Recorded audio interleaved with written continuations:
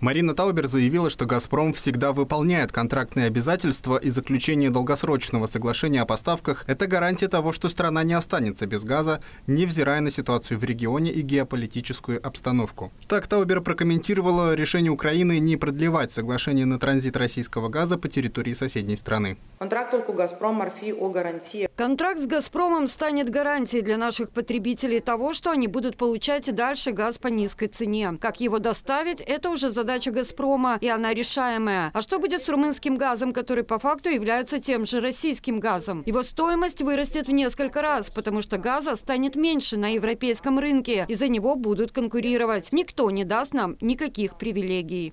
Таубер заявила, что цены на природный газ в странах СНГ значительно ниже, чем в Евросоюзе. Pentru consumatorii casnici din Moldova, Для молдавских бытовых потребителей газ стоит 830 долларов за тысячу кубометров, для российских – 67 долларов. В других странах СНГ также газ стоит меньше. Мы еще не вступили в ЕС, мы не завершили строительство обещанной инфраструктуры, мы не создали рынка для энергоресурсов с ясными правилами игры, но при этом мы уже зависим от цен на энергоресурсы, которые устанавливают на европейском рынке, и от поставок, осуществляемых трейдерами, которые заинтересованы лишь в росте собственных доходов.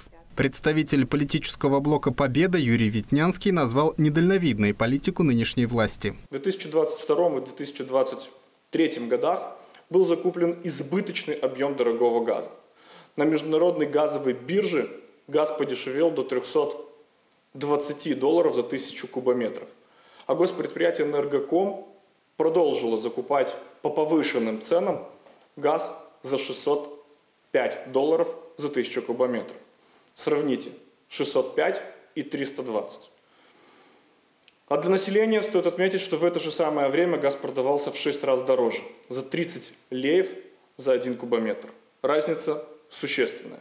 При этом в 2022 году Молдова закупила 600 миллионов кубометров газа по средней цене в 1024 долларов за 1000 кубометров.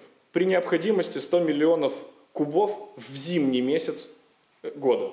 Ветнянский заявил, что политический блок «Победа» отправил в правительство запрос о проверке законности заключенных газовых сделок. По мнению политика, из этих соглашений граждане оплачивали газ по завышенному тарифу. Мы обратились в правительство с тем, чтобы были проведены все необходимые проверки законности осуществляемых сделок.